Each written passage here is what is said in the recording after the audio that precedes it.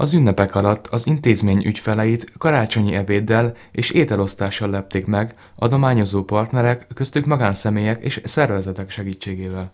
Szűcs László, szakmai vezető elmondta, a férőhelyek jelenleg telítettek, vannak olyan személyek, akik eddig elzárkóztak az intézmény szolgáltatásainak igénybevételétől, azonban azóta már a szállón laknak. A klienseink olyan 60-70%-a tartósan szexádon élő, és mindig vannak olyan emberek, akik néhány hetet, egy-két, hónapot itt, egy-két hónapot itt töltenek, és tovább mennek, keresik a lehetőségeket, adódik esetleg munka más városban, kihasználják az ellátórendszernek a, a lehetőségét, és, és tovább mennek.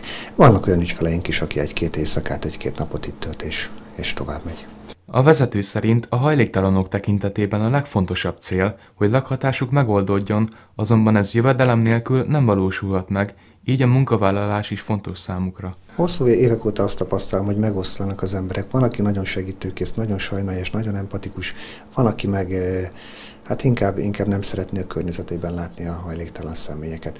De a karácsony meg az új év mindig azt mutatja, hogy nagyon sok adományozó ember van, aki szeret adakozni, szívesen adakozik, és, és rengeteg adományt kapunk. Tehát élelmiszer, ruha, egyéb szempontból gondolom ezt.